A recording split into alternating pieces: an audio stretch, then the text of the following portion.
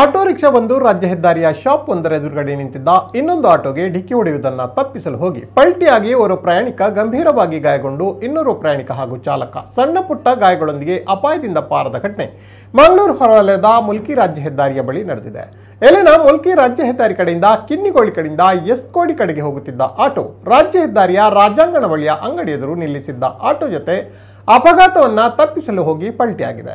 ಈ ಸಂದರ್ಭ ಆಟೋದಲ್ಲಿದ್ದ ನೇಪಾಳ ಮೂಲದ ಕಾರ್ಮಿಕ ಮಂದೀಪ್ ಎಂಬರು ಗಂಭೀರ ಗಾಯಗೊಂಡು ಸುರತ್ಕಲ್ ಆಸ್ಪತ್ರೆಗೆ ದಾಖಲಾಗಿದ್ದಾರೆ.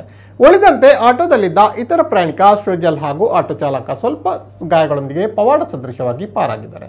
ಗಾಯಗೊಂಡವರು ಕಿನ್ನಿಗೊಳ್ಳಿ ಪದ್ಮನೂರು ಬಳಿಯ ಶೇರಿಟ್ ಹೋಟೆಲ್ನ ಕಾರ್ಮಿಕರಾಗಿದ್ದರು ಎಂದು ತಿಳಿದು ಬಂದಿದೆ.